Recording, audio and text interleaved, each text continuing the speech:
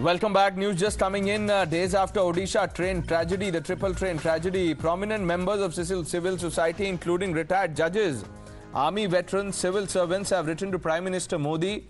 This is an open letter that they've written. Uh, Meghna Dekta, senior editor, now joining us for more on that. In this letter, the civil servants, the retired civil servants, uh, prominent members of civil society have said that Balasore tragedy could be work of sabotage and have demanded that the truth can be uncovered only through CBI probe.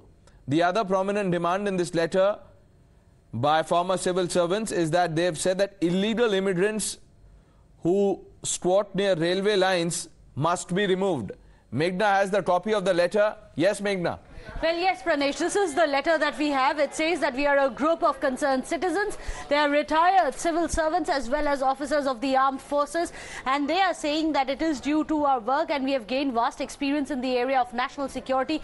We have no doubt that under your able stewardship, this nation is going to be advancing very fast. Then it says some of us who have worked in counterinsurgency have faced such situations of sabotage on the smooth plying of railway network. There are similar well-planned attempts by the terrorists to disrupt railway networks in these vulnerable areas, leading to sabotage, derailment, civilian casualties in one of the cases in Jammu and Kashmir. We even witnessed multiple attacks on railway tracks from Pathankot to Jammu in the 1990s and early 2000s, where the tracks were severely damaged. Catastrophic accidents had stopped only after proper deployment was made.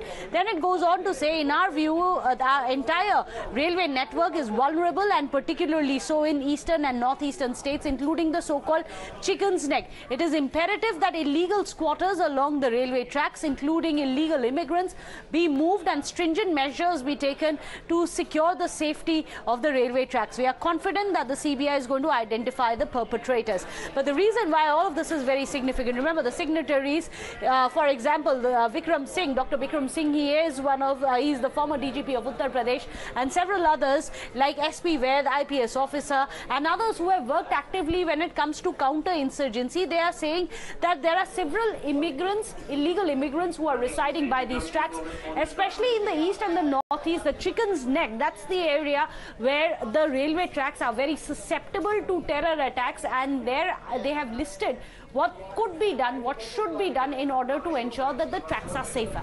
Pranesh.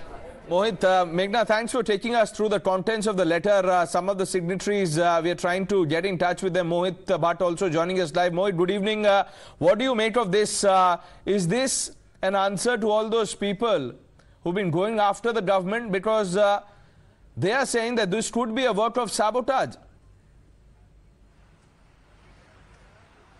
But Pranesh, this letter is very, very important given the fact the signatories are former IPS officers and including army veterans and various members of the civil society, including the judges. Now, these IPS officers and the army veterans have uh, served uh, in the counter-insurgency operations, specifically in Jammu and Kashmir and Northeast. Uh, for example, Mr. S.P. Vaid, who has been, uh, who had been the uh, DGP of Jammu and Kashmir, and he has been part of various such counter-insurgency methods. Now, what this, in this particular letter they highlight is that uh, in in early 90s, the, this kind of this kind of attack on the railway and the railway tracks were very common. Now the terrorists wanted to sabotage the railway fun smooth functioning of railways because you see, railway is the lifeline of the country. The goods, the army personals, and everything that the country needs is being supplied through the railways. And hence they say that they believe Right, that the just hold CBI your thoughts. Uh, inquiry- we have one of the signatories, Praveen Dikshit, needs no introduction, senior IPS officer, former DGP Maharashtra.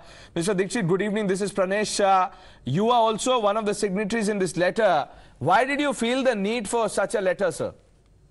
No, you see, as you have rightly pointed out, the railways is uh, such a crucial thing, which uh, the safety of the railway tracks is extremely important.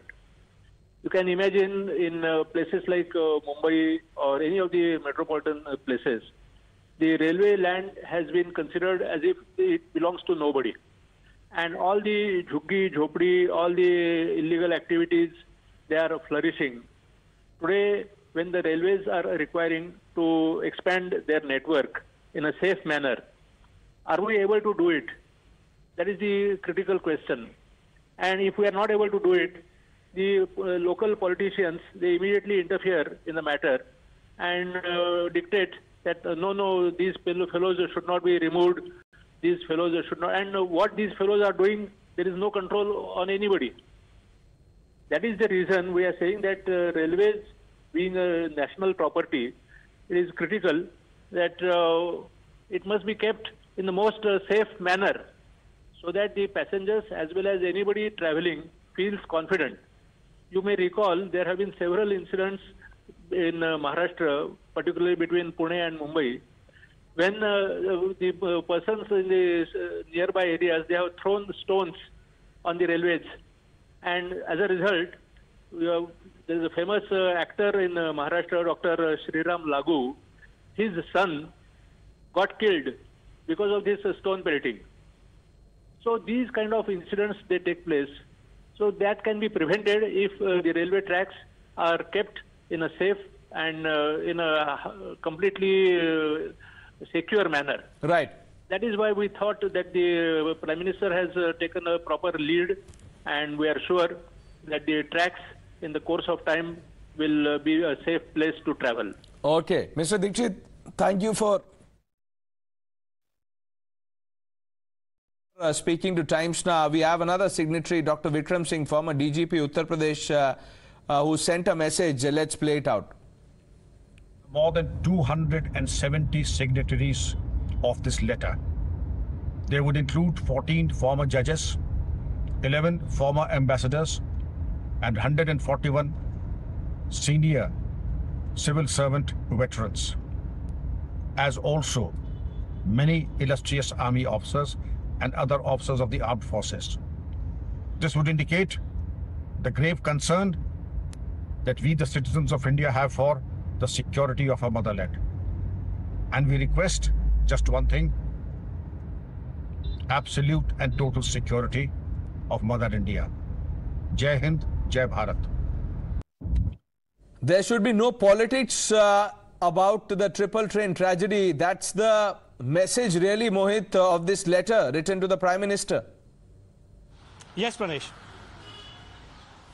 Well, yes, Pranesh, and we have seen from past many days since the uh, the government announced that there will be a CBI inquiry in this particular case, and we also know that the FIR has been registered. The opposition party, specifically the Congress, they're attacking the government and the Prime Minister, saying that well, with the sabotage angle, the government is trying to shift the blame and they want to divert from the uh, improper functioning of the Indian railways, and whole lot of politics is going on in this issue. Now, Pranesh, we also need to understand the people who have signed this particular letter. Are, uh, uh, many of them are former DGPs, uh, former army veterans. They have served in those areas where the terrorists or the militants try to try to hamper and sabotage the railway lines, and this has been clearly mentioned in this particular letter. So they basically say that this happens. Judges, uh, uh, they basically said there should be no politics and a thorough investigation should take place, and that is perhaps why the center has given the inquiry to the CBI. Right. But Pranesh, unfortunately, the politics is continuing on this particular issue. Even the opposition parties are not uh, not not stopping Hopefully, till the, the, political time class uh, uh, the CBI